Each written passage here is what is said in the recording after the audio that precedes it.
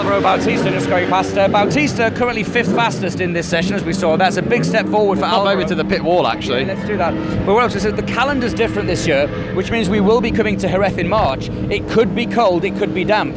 Uh, the dynamic of the championship could change just by the uh, the different dates that uh, the races are on. Right, well, we'll show our fate. Well, no, we won't, No, because we there won't. is a bike coming. I was waiting for a bike. Let's listen, let's listen.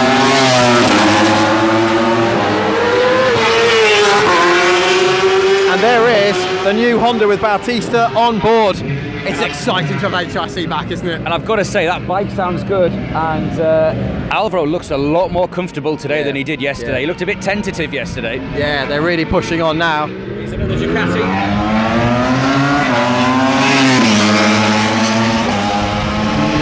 Yeah, that was Leandro Mercado on the Motocorsa bike and another bike coming through.